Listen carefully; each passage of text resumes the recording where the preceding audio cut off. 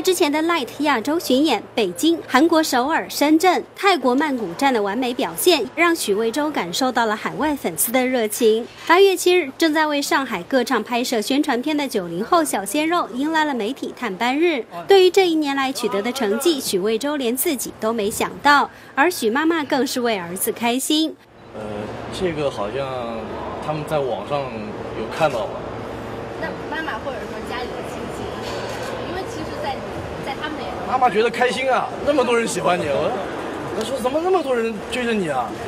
我说他们热情嘛，所以我觉得，呃，特别感谢他们，特别感谢粉丝。而面对十三日即将在自家门口上演的巡演收官战上海站中，许魏洲更是做好了百分之三百的准备。除了音乐本身，多元化的舞台表演、造型、服装等都有亮点外，再也不能让妈妈只能在网上看自己唱歌了。呃，这次呢，我邀请了我父母，然后还有家里的呃叔叔呀、阿姨呀、姐姐呀、弟弟啊，就亲友团都去看我的这场演唱会。他们对于我对我就一句话：身体健康。天天开心，反正我也就保重自己的身体，然后在事业上继续努力拼搏。兔岛娱乐北京报道。